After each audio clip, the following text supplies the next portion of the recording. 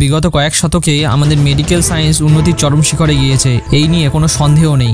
যদি না বিজ্ঞান থাকতো, তাহলে হয়তো আমরা আজ পর্যন্ত চাঁদে পৌঁছাতে পারতাম না। তবে বর্তমান সময়ে আমাদের বিজ্ঞানীরা এখন আর স্পেস সায়েন্স অথবা কেমিক্যাল এক্সপেরিমেন্টের মধ্যে সীমাবদ্ধ নেই। এখন তো আমাদের বিজ্ঞানীরা দুটো আলাদা আলাদা জীবের মধ্যে ক্রসব্রিড করিয়ে একটা নতুন জীবের উৎপত্তি করতে সক্ষম হয়েছে।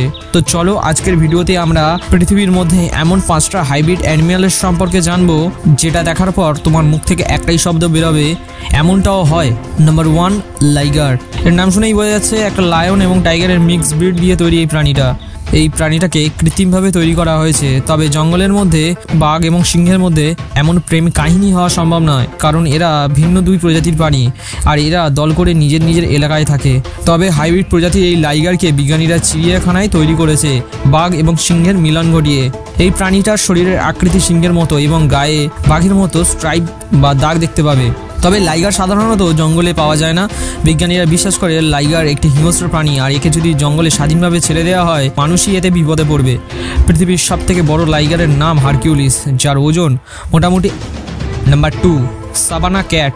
পোষা প্রাণীদের তালিকায় কুকুরের পরেও একটা জীব আসে, সেটা হলো বিড়াল, যাকে অনেক মানুষ পছন্দ করে। আমাদের পৃথিবীতে এমনও অনেক মানুষ আছে যারা বাঘ এবং চিতার মতো হিংস্র জানোয়ারকে পুষতে পছন্দ করে।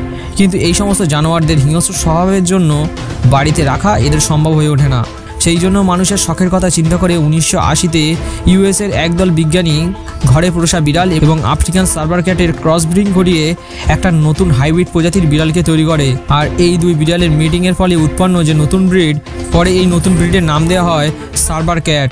সার্ভার ক্যাট এতটাই বড় হয়, কোনো মানুষ প্রথমবার এই প্রাণীকে দেখলে তার চোখ ধোকা খাবে। এটা বিড়াল নাকি চিতা?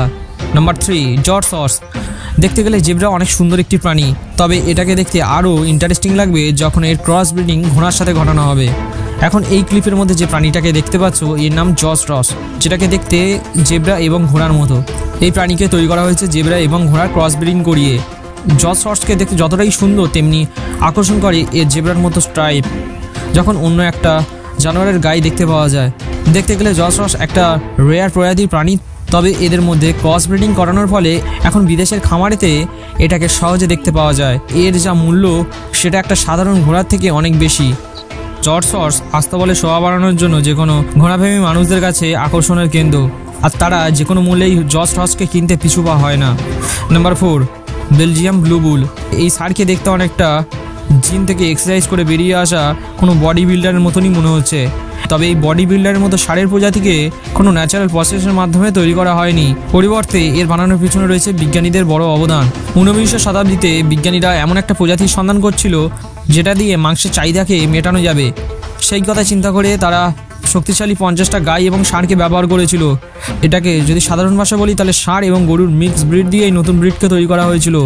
এই নতুন প্রজাতির ষাঁড়ের মোটামুটি ওজন এগারোশো থেকে বারোশো কেজি পর্যন্ত হয়। এই ষাঁড়টাকে দেখতে যতটা ভয়ানক, বাস্তবে অতটাও খতরনাক নয়। খুবই নম্র স্বভাবের হয়ে থাকে এই প্রাণীরা।